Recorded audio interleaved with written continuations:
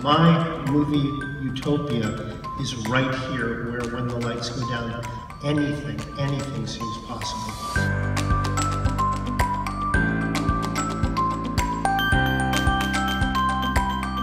You find groundbreaking, risk-taking, independent cinema, and you latch onto it, and we want our differences to be celebrated, not to be feared.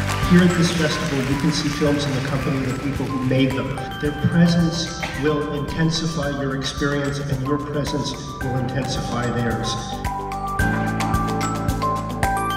It's just like a good way to bring people together and make people curious and give them ideas and give them other outlooks on the world. It's important to Red Bank. Art and music is just an essential part of, of our, our being.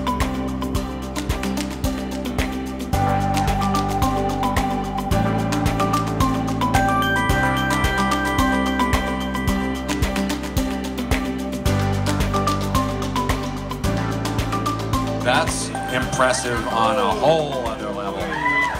We will eat a spaghetti and meatballs. Oh, everyone is a lesbian sometimes. Enjoy the donut. I am enjoying No. it. I love donuts. No. And it just opens your heart. It just opens your mind. It just opens yourself. It's beautiful.